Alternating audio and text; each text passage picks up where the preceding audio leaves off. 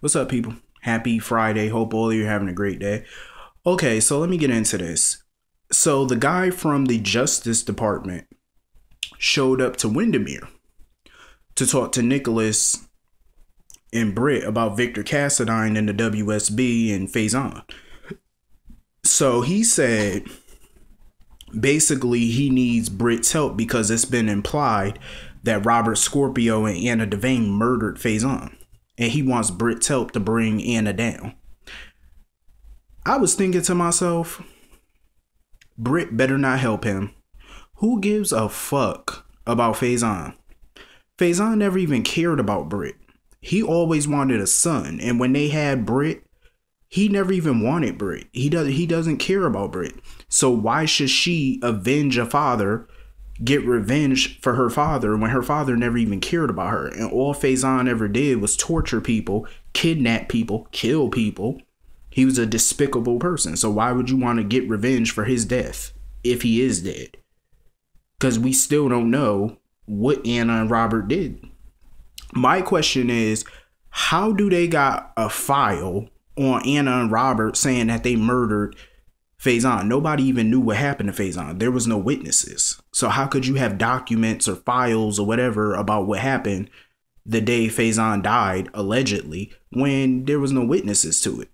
And it's not like Anna and Robert were running around town running their mouths about what happened to him because they were very discreet and very quiet about it. So how does anybody know about that? That's the big question. How? That's what I would like to know. Um because I honestly don't think Victor Cassadine is dead either. I honestly don't believe he is. Um. So anyway, Duke is still being a princess. He's still being a queen, sitting in a fucking interrogation room, refusing to turn Sonny in. I'm like, are you serious? You're refusing to testify against Sonny. You dumbass. You already spent 20 years in a Turkish prison and you want to spend some more years in a prison? You're already probably, what, 60 years old? You want to spend your golden years in a jail cell? Seriously? I wouldn't after spending 20 years in some Turkish prison. There's no way in hell I'm willing to spend another few years in, in somebody Pentonville. There is just no way in hell. I'm sorry, Sonny ain't worth all that. And he, that's that's what I said yesterday. He barely knows Sonny. Why are you sticking up for him so hard? Why? You barely know Sonny. And the first time he met Sonny, when him and Anna went to Sonny's house, Sonny was a little rude to him. So why are you jumping through hoops to protect a bastard that you don't even know? Like, come on. Seriously, it makes no fucking sense. And then Carly and Sonny, they throw them in the jail cell next to each other, which is befitting. They have adjoining jail cells. And they're exchanging I love yous and Carly sitting there talking about how could she be, you know, it's all, you know, they sitting there trying to play the blame game and Sonny wants to take all the blame. All y'all to blame. Carly, in my opinion, I'm gonna break this down to you. Carly talking about something, how could I not see? Why didn't I listen to everybody when everybody warned me about Franco? I'm gonna tell you why she didn't listen. Because even Jason said it before she's too headstrong, she's too stubborn, and she always wants to prove somebody wrong. Every time somebody tell her not to do something or warn her about the dangers, she does it anyway. Because that's how Carly is. She's too damn immature. See, she could have got away with that shit years ago because she was younger. But you're in your 40s now. You have freaking three kids. Two of them are grown. You're in your 40s, possibly a grandmother you should have more common sense than you have. It's obvious you have no common sense. And at your age, you really should have it. Seriously. Like, it makes no sense for you to be this old and keep making the same immature, dumbass decisions that you've been making. I would expect this out of people like Michael, Morgan, Jocelyn. I would expect it out of them because they're young. You know what I mean? And, you know, I would expect them to not listen to when people give them warnings and try to warn them from something or someone, I would expect them to be the dummies and not listen because of their age. It, it fits their age. But you, come on now, you're a grown ass woman. People are telling you something for a reason. They shouldn't even have to warn you. You should have known from the get go not to get involved with him, but you chose to anyway because that's the kind of slut that she is. Pretty much.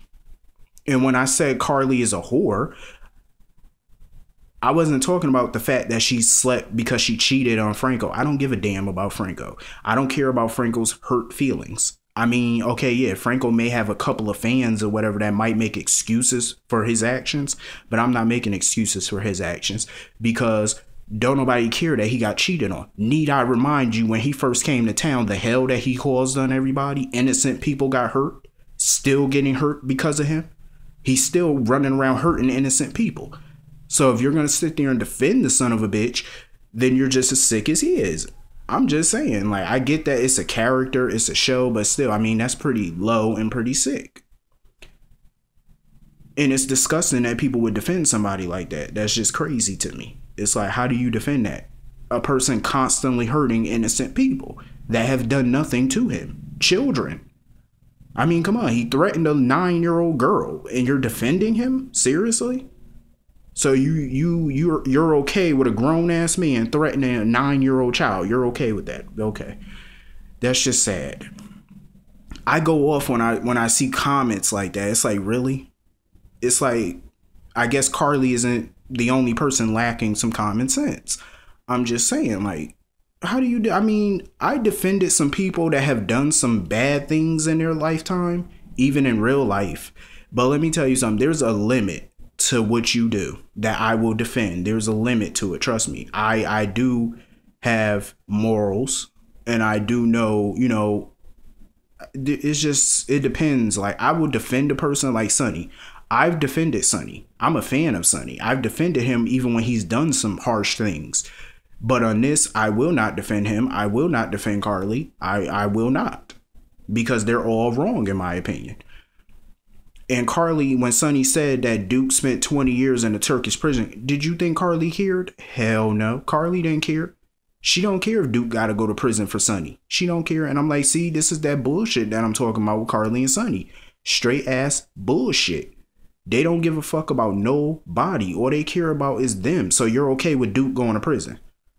As long as Sonny gets to get out. That's what you're okay with that. It's like, seriously, bitch? Both of them deserve to get the book thrown at their asses.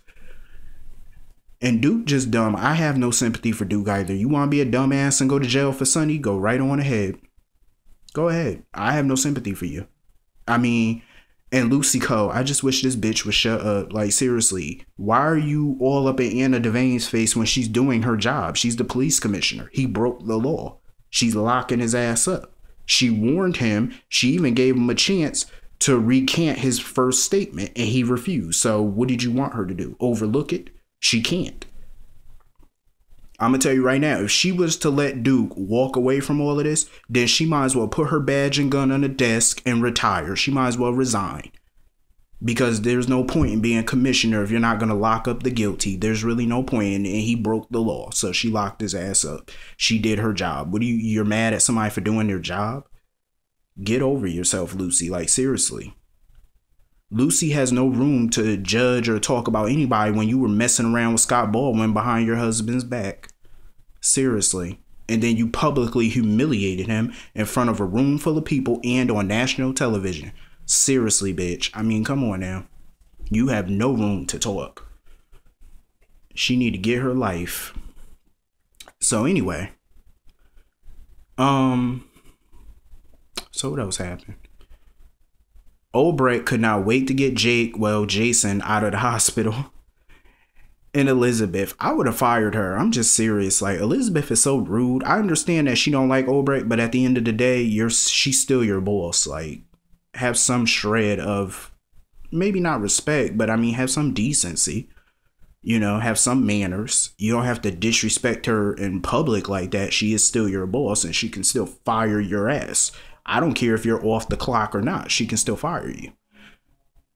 Um, Elizabeth is so dumb. That's why I said so many people on the show should not be parents because it's so unfit. I mean, they're just unfit to be parents. How are you gonna let this dude that you don't even know move into your house? He could be a child molester. He could be a murderer. He could be he could be Jason Voorhees' offspring for you know and you're just gonna let him shack up in your house with two of your little kids and you don't know nothing about this dude just because he seems nice and charming so what hannibal lecter was charming and look at him he was a cannibal I mean, I'm just saying he ate people. I mean, seriously, he was a charming person. He was nice until you got to know him and he wanted to eat you. I mean, seriously, use some better judgment, woman. So Jake noticed Alan Quartermaine's picture and Edward and Lila, and it kind of started to, you know, he said that he knew them from somewhere. Hopefully his memory come back because I hate memory loss storylines. Them shits is they drag them out, and I got a feeling they're gonna drag this storyline out too. I'm willing to bet Jason probably not gonna get his memory probably till 2015. I'm willing to bet because they do love to drag storylines out, and I get sick of that. Um. So he when he went to Elizabeth's house, he found a picture of Jason and Elizabeth. And I think part of it is starting to jog his memory again. I believe it is. Um Michael. Michael was the highlight of the show for me. He did not give no fucks about Kiki. Zero. Even when Kiki walked in, he still he told her to get out and he still started kissing up on Rosalie in front of Kiki. I was like, now that's badass. Some people said Michael's taking this thing a little bit too far, but in my opinion, he ain't taking it far enough. And he's still letting them stay at the Brownstone. You know that? He's still letting Morgan, Morgan and Kiki live at the Brownstone. He never said anything about kicking them out. He's still letting them stay there. My opinion is if he gonna let them stay there, I would make their ass pay some rent. I'm just saying. And I still would fire their asses from ELQ. Because they do work for ELQ rehabbing the Brownstone. So I would fire their asses and I would kick their asses out the brownstone if they're not gonna pay rent. Kick them out. Um, Sonny has a big house and he's not gonna be living there anytime soon, so let them go shack up at Sonny house or Carly house. I mean, let's be real. Kiki could sit there with them crocodile tears all she want, but don't nobody care. Her excuse is, is ridiculous. Everything Michael said to her was so true she wants the brother that she can't have. And this is so true. She did this on purpose to create some drama. That's what she did. She did all of this on purpose to create drama. And it's quite obvious that she did it on purpose to create some drama between Michael and Morgan. Cuz that's what Kiki does. She creates drama. That's what she that's what she do. Um when she was with Morgan, she kept thinking about Michael, running to Michael, confiding in Michael, but then when her and Michael get together, now she's running back to Morgan, confiding in him now. It's like seriously, you're playing ping pong is what you're doing. Bouncing from brother to brother cuz she likes drama. And Michael nailed it on the fucking head. I was like, exactly. He gave it to that bitch. And she gonna try to say, I knew the writers were gonna do this. Try to make Michael out to be the bad guy in this breakup between him and Kiki. No, bitch. Kiki's the bad guy. And I have no sympathy for this witch. Um and the way he told her, he was like, and when you leave, before you leave, leave the leave my key. I said, yes, kick that bitch to the curb. He told her to leave the keys to the apartment. I was like, yep, skedaddle. So Michael went to go see Sonny and Carly. So I would love to be a fly on the wall in that jail. Um I can't wait to see Monday to see what's gonna happen between him, Sonny, and Carly. Notice that he walked straight to Sonny, like he barely even gave Carly a second glance. Carly is a whore. Like she just I just can't every time I say she's a whore, the reason I say that is because of everything she did. Like I said, I don't care that she cheated on Franco. She's not a whore because of that. I really don't care about his hurt feelings. I don't care. Um, Franco doesn't matter to me. But it always reminds me of the night that she slept with Jax and Sonny on the same night in 2008. It always brings me back to that night. It was so disgusting. You slept with your ex husband and then you slept with your current husband all in the same night. Oh, speaking of nasty, I just I had an observation. So Michael just got done having sex with Rosalie.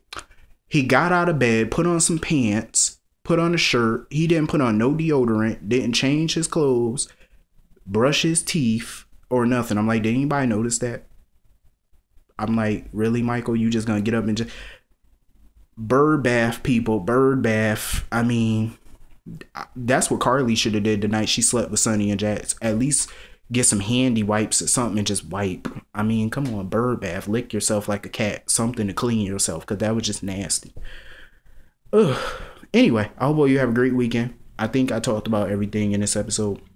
Oh, Anna Devane, she bumped into Obrecht at the hospital, so I can't wait to see that. Um. Anyway, I hope all of you have a great weekend. I will see all you Monday. Have a great weekend. See you later.